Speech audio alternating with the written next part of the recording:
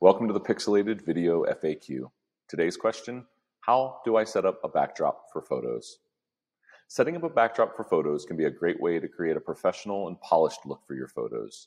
Here are some steps to follow. Step one, choose your backdrop material. You can use a variety of materials for your backdrop, such as paper, fabric, vinyl, or canvas. Consider the color and texture of the material to ensure that it complements your subject and the overall mood you want to create. Step two, secure your backdrop. You can attach your backdrop to a wall or hang it on a stand. If you are using paper or fabric, you can tape it to the wall using painter's tape or use clamps to secure it to a stand.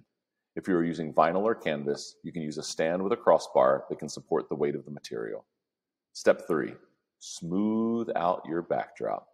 Make sure your backdrop is free of wrinkles and creases before you start taking photos. You can use a steamer or iron to remove any wrinkles, or you can hang the material and allow it to settle for a few hours. Step four, set up your lighting.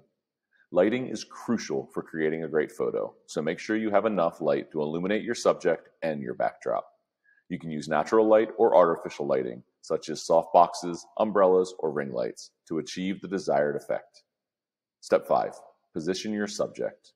Once your backdrop and lighting are set up, position your subject in front of the backdrop. Make sure your subject is well lit and centered in the frame. Step six, take your photos. With everything in place, you can start taking photos. Experiment with different angles, poses, and lighting to get the perfect shot. Remember, the key to a great photo is not just the backdrop, but also the subject and lighting.